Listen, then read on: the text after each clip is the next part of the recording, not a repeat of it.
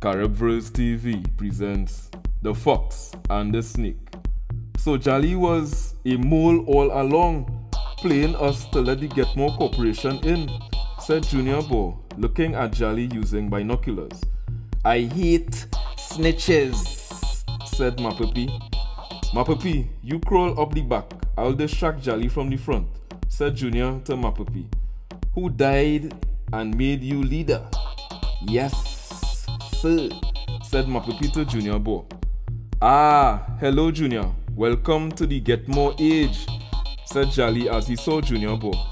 Jolly, I like playing with tech as well, but to sell your soul for this is not worth it, it's going too far, said Junior looking up at Jolly.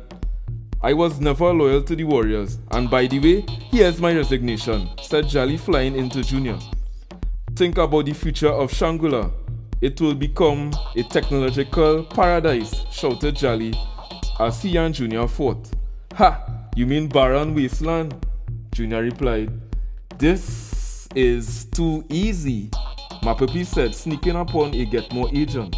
He later wrapped around the agent, rendering him helpless.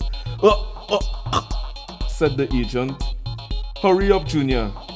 There are robots on your tail, shouted Mapapi to Junior as he prepared to battle robots. Got it. The EMP field is back online, said Mapapi as he successfully turned on the field. Huh?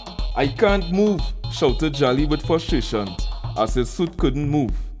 Junior tapped on his helmet for confirmation. That's what happens when you rely too much on technology, said Junior to Jolly. The end. And that was The Fox and the Snake, Caribverse TV, where we bring the stories to you.